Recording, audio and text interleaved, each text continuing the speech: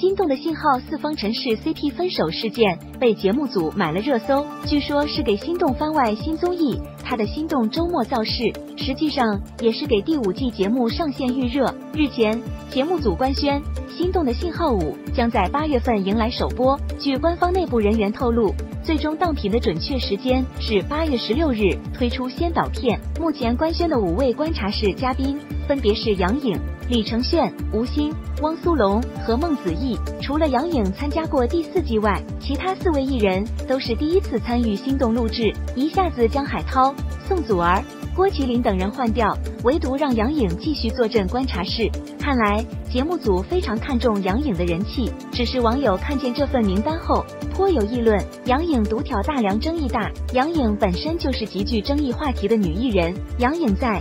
顿时失去了看的兴致，而且杨颖跟黄晓明离婚了，可能人设上会跟恋爱节目产生某种格格不入的尴尬境地。已经有网友直言，一个失婚中年女人，你让我看他们怎么失败吗？总体来说。抵制杨颖的声音很多，但是支持她的人也不少。始终伴随着争议的杨颖，对节目来说是一柄双刃剑，用好了，热度与口碑双丰收；用不好，只会适得其反，惨遭反噬。杨超越回归呼声高，除了杨颖，其余四位艺人嘉宾各有特点。李承铉是戚薇的丈夫，他妻子曾因参加该节目而大受欢迎。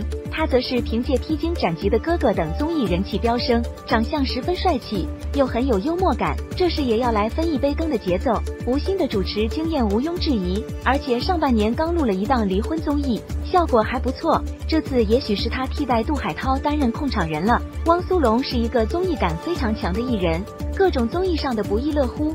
心动的信号五是他的恋综首秀，蛮令人期待的。观察是艺人固然重要，但是网友同样关注素人嘉宾的品质。只有颜值高、人设稳的素人，才能满足网友对新一季节目的期待。